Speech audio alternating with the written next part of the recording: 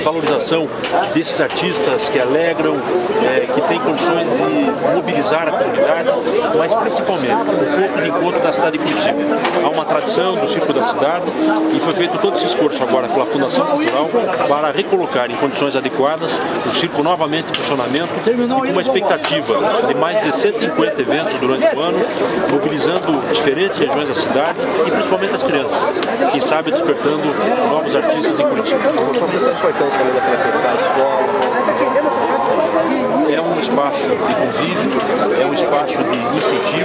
é um ponto de encontro e com uma linguagem diferente daquela linguagem tradicional da linguagem formal. O circo, apesar de todas as mudanças que ocorreram ao longo dos anos, ele gera um encanto excepcional. Sábado, mudando um pouquinho de assunto agora, tem muita especulação sobre esse assunto, a saída, o, de fato, de uma sonda da prefeitura. O que, que representa? É o início é do movimento de uma criança, PT, PDT, nada a ver com isso? Não.